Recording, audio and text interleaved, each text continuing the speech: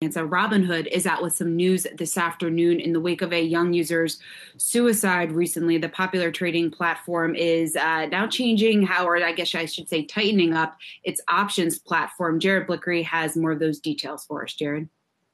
That's right. And it really was tragic. Alex Kearns killed himself over the weekend uh, after discovering a negative $730,000 cash balances in, in his account. The tragedy is that he didn't owe that much or even anything close to it. He was in an options trade, has to do with the way it's settled in a particular circumstance.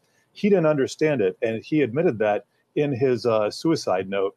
And so Robinhood is taking steps, and uh, not too quickly here, uh, but not soon enough, uh, to kind of curb these investor misunderstandings. A lot of their users are new traders, and we kind of joke, yeah, they're buying bankrupt stocks, but this is serious business. So the steps Robinhood is taking here is number one, eligibility for options trade.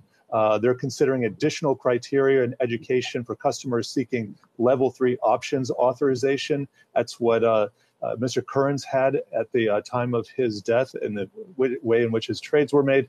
And the levels go up to number five. So you can be in a wide variety of different I would say, degrees of sophistication. And you have to become certified in each one, demonstrate that you're competent in your trading in order to do that. So they're also going to increase educational resources. And they're saying that we are expanding our educational content related to options trading. We have added information on early options assignment, that's specific to this case, to our help center.